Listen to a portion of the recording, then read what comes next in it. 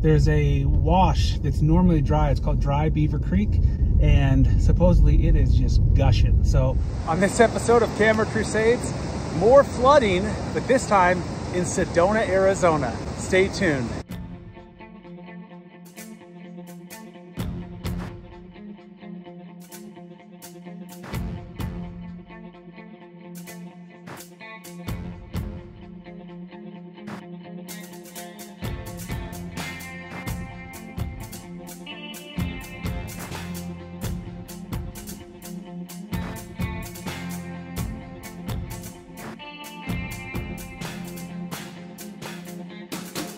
So today we are headed to Sedona, Arizona to check out the flooding that's been happening in the last week or so.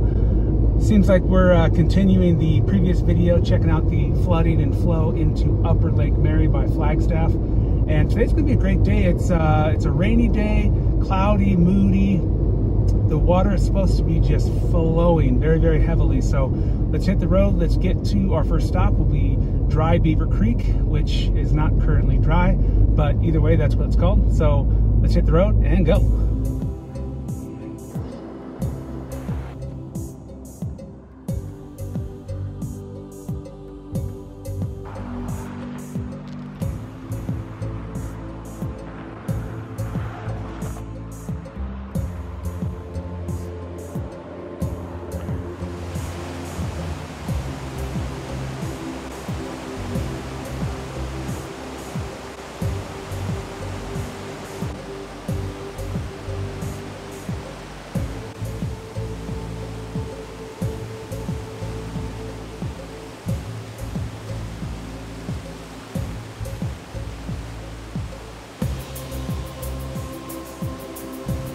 So the next stop is uh, one of my kind of secret uh, locations. I shouldn't say it's secret, but um, I'll show you some footage right now. Uh, I like to come here every time it's either raining or snow melt, which is the case today. So uh, let me show you a couple clips and then uh, I'll show you the newest version of probably one of my favorite photographs here in Sedona. Uh, a lovely waterfall just kind of cascading through with some beautiful red rocks uh, in the background. So here it is, enjoy.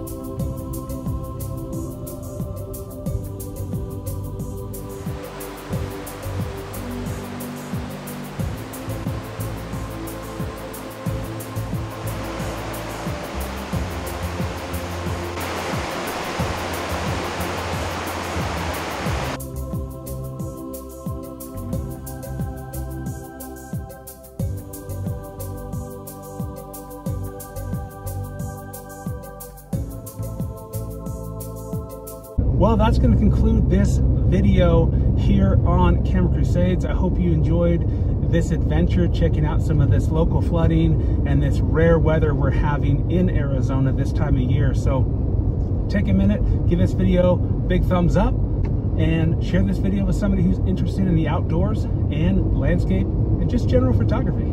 Otherwise, I'll see you in the next adventure.